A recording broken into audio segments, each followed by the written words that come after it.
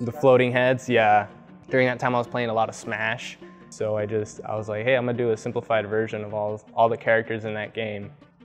My name's Jose Quezada. I'm a graphic designer, as well as an illustrator.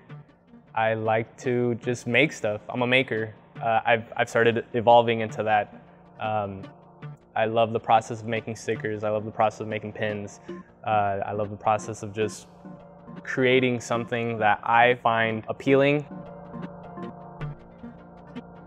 The very first pin I did was a, a, Rudolph with like tattoos, a decapitated Rudolph head with tattoos and whatnot. Um, so that was my first pin. The next pin I had was the Mickey They Live pin. So it's basically like Disney's mouse head, you know, the famous Mickey, and then the movie They Live, which was an old 80s movie. And that's how the series came up too with Goofy and Donald.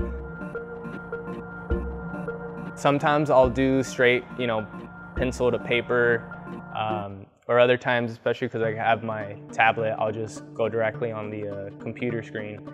Um, but yeah, it, I go back and forth every now and then. Um, but it starts with a sketch, and then I go in Illustrator, I lay down some vector lines, and then from there I put the base colors in Illustrator. Then I take that file, put it into Photoshop, and then I kind of go over it, start making it pretty, put a little bit of like textures and shadows and whatnot, some lighting, put the background.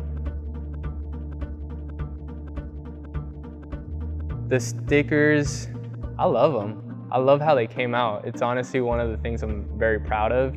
I was in a moment where I was trying to come up with something already after launching the They Live set.